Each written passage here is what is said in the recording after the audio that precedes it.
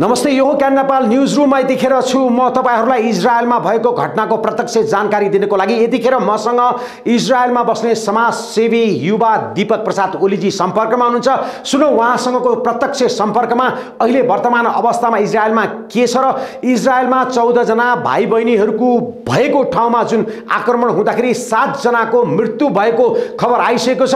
नाम ठेगाना भने परराष्ट्र मन्त्रालयले नै जानकारी गराउनु पर्ने भएको हुनाले उहाँले नाम र ठेगाना चाहिँ हामीलाई भन्न सक्नु भएन।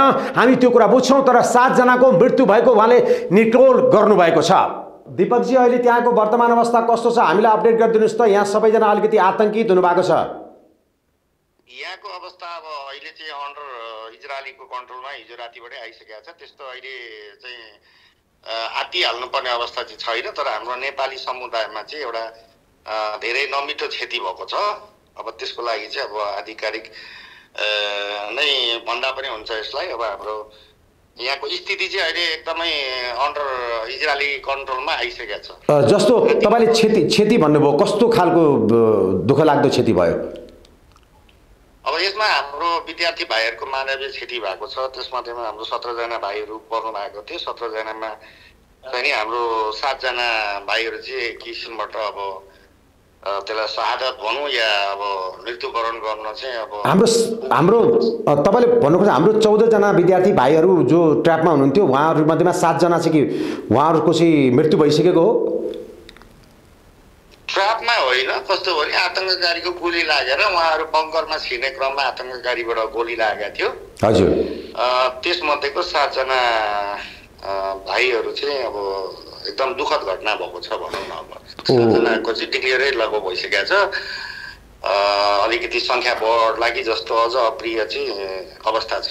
जस्तो त्यसको लागि चाहिँ फिल्डमा म आफै नै लगभग यहाँ बाटोको अवस्था हेर्दैछु म त्यहाँको लोकल पुलिससँग सम्पर्क गरेर मिल्यो भनेदेखि लगभग अबको दुई घन्टामा म त्यो स्थलगतमै दुईजना भाइहरू आँतिएर बसेका छन्।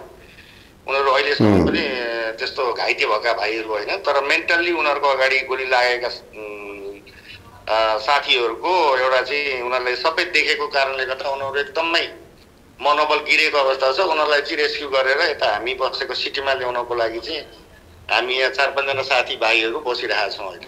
जस्तो भन्न सक्नुहुन्छ हाम्रो हाम्रो चाहिँ हात हात हुने भाइहरूको नाम उहाँको घर कहाँ के कसो छ के भन्न के छ जानकारी तपाईँलाई? होइन अब त्यो चाहिँ मैले तपाईँहरूलाई आधिकारिक रूपमा नामै चाहिँ म दिँदिनँ किनभने अब। नेपालमा बसेको धेरै परिवारहरू हुनुहुन्छ होइन। हजुर। त्यसमा अब नाम चाहिँ मैले डिक्लेयर गर्दिनँ। त्यो चाहिँ नेपाल राज्य दूतावासलाई म पठाइदिन्छु। त्यसपछि उहाँहरूले आधिकारिक नाम डिक्लेयर गरेपछि अथवा परराष्ट्र मन्त्रालयले नाम डिक्लेयर गरोस् भन्ने म चाहन्छु। लिगल्ली र प्रोसेसफुल्ली जाँदाखेरि पनि मैले नाम डिक्लेयर गर्न सक्छु तर त्यो चाहिँ मैले डिक्लेयर गर्नु राम्रो पक्ष होइन जस्तो मलाई लाग्छ। जस्तो अघि तपाईँले भन्नुभयो इजरायलीहरूको पूर्ण नियन्त्रणमा आइसकेको भनेपछि के यो हमासको अब आक्रमणबाट चाहिँ इजरायलीहरू पूर्ण रूपमा सुरक्षित भइसके भन्न खोज भन्नुभएको हो? हो त्यसमा कुनै एउटा सानो पनि क्षति हुँदैन र यस्तै रकेट बमहरू चाहिँ यहाँनिर लगभग छ छ महिना एक एक वर्षमा एकैचोटि तिन हजार चार हजार पनि कन्ट्रोल गर्न सक्ने क्षमता इजरायली फौजसँग छ सरकारसँग। तर यो पालिको अप्रिय घटना चाहिँ के भयो भन्दाखेरि फिजिकली जमिनबाट आएर चाहिँ उनीहरूले रकेट माथिबाट हानिरहे। इजरायली सरकार चाहिँ अब त्यही कन्ट्रोलमा लाग्यो। तर तपाईँको यतापट्टि फिजिकली रूपमा आतङ्ककारीहरू छिरेर अन्धाधुन्द लगभग भनेको दुई सयदेखि पाँच सयको सङ्ख्यामा उनीहरू छिरेर अन्धाधुन्द जताभावी गोली चलाउँदा चाहिँ यो मानवीय क्षति ठुलो भएको हजुर हामी तपाईँहरूलाई फेरि पनि सुरक्षित रहनुहोला भनेर कामना गर्दछौँ। त त्यहाँको घटनाले गर्दा हामी सारा नेपाली जो जति छन् संसारभरि भेटेका मान्छेहरू दुःखी हुनुभएको छ। अहिलेलाई म त्यही भनौँ सुरक्षित रहनुहोला। हस्। यहाँलाई धन्यवाद। हस्। हस्, थ्याङ्क यू। Thank you.